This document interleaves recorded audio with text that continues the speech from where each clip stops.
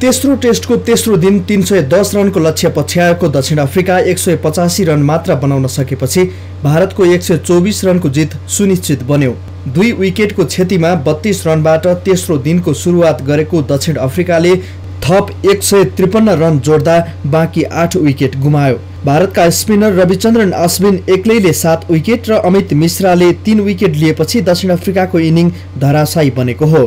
पहिलो इनिङमा पनि अश्विनले पाँच विकेट लिएका थिए। यसअघि पहिलो इनिङमा दुई सय पन्ध्र रन बनाएको भारतले दोस्रो इनिङमा एक सय त्रिहत्तर रन जोडेको थियो।